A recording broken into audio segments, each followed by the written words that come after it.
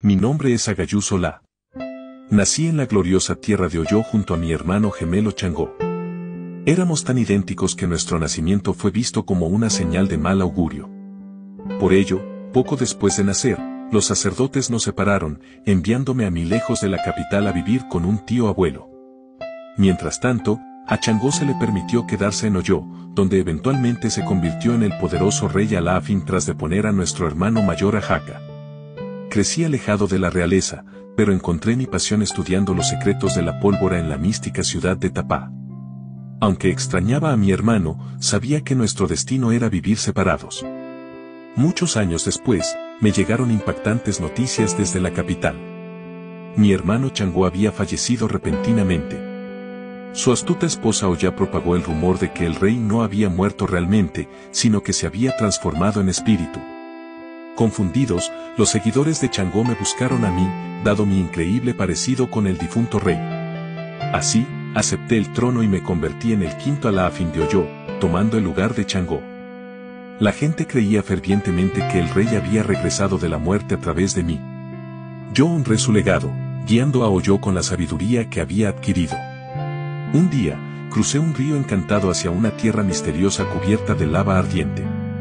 Allí tuve un encuentro que cambió mi vida, conocí a un poderoso guerrero llamado Changó, quien resultó ser mi propio hermano gemelo, regresado del mundo espiritual.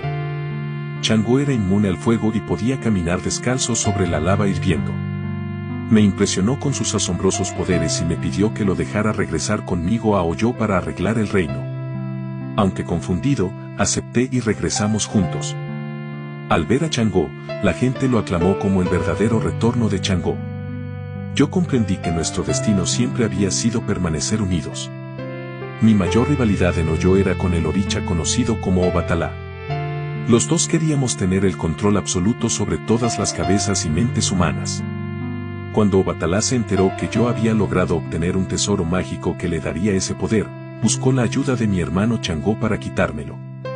Traté fervientemente de detenerlos, llenando los caminos de trampas y serpientes. Pero con la astucia de Eleguá, los dos lograron burlar todos mis trucos. Para mi furia, Obatalá obtuvo el tesoro y el control sobre las cabezas que tanto había anhelado. Inicialmente estaba furioso con Obatalá y los demás por derrotarme. Pero con el tiempo entendí que no podía ganar todas las batallas, por más poderoso que fuera. Así que decidí transformarme en un líder más sabio y dejar de pelear contra los otros orillas. Con la ayuda de mi hermano Changó, encontré la forma de colaborar en armonía con los demás para el bien común. Abandoné mi egoísmo y juntos pudimos traer prosperidad y felicidad a nuestro amado reino de Oyo. Aprendí que el verdadero poder no viene de la separación, sino de la unión. En mi búsqueda para contrarrestar el poder de Obatalá, traté de tenderle una trampa. Me enteré que él buscaba capturar unas palomas místicas llamadas Eyele que estaban escondidas en un tejado. Así que llené los caminos de serpientes para detenerlo. Pero el astuto Eleguá me encontró y se hizo pasar por mi aliado.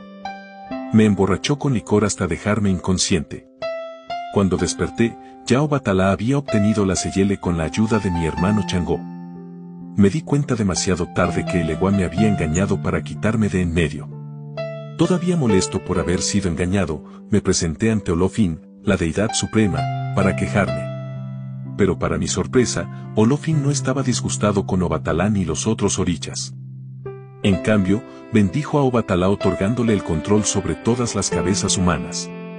También recompensó a Eleguá por su ingenio, dándole poder sobre los caminos del destino.